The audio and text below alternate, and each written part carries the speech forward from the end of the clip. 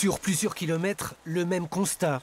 Des poissons morts par centaines. À pleurer, à pleurer. L'alerte a été donnée en fin de semaine dernière par des riverains.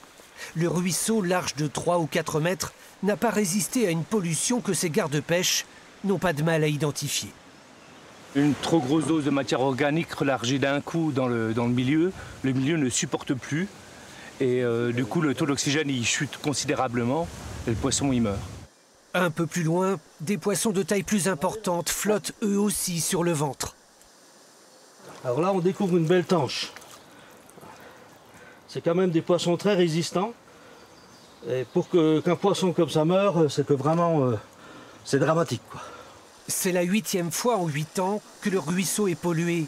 Pour le maire du village, l'origine ne fait aucun doute. C'est toujours les mêmes établissements.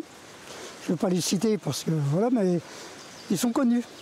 Ils ont déjà eu des, des procès, des amendes, et voilà, ils continuent de polluer. Quel type d'établissement? Les laiteries. Voilà, je n'ai pas peur de dire, ce sont les laiteries, que ce soit la laiterie de la Vernay ou la laiterie de Noiron, c'est toujours de là que sont parties les pollutions. Les deux fromageries traitent leurs effluents dans une station d'épuration. L'eau est ensuite relarguée dans la nature. Pour les gardes-pêche, un poison qui ne dit pas son nom. Quand on regarde l'affluent qui provient comme par hasard de la fromagerie, euh, on voit bien le substrat qui est ici présent. C'est de la matière organique pure, quoi. C'est un égout à ciel ouvert en fait.